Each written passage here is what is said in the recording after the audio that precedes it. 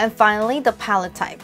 Bright Ivory for highlighter, Peach for blue and grayish dark circles, Salmon for a dark and dull part under the eyes or on the eyelids or the greenish filter, Green for redness or purple pigmentation, Lavender for green pigmentation, yellow skin tone or mottled areas. The palette type concealer has a similar formulation to the pot type I showed you at the beginning. First, I'm gonna cover the red part with a green color.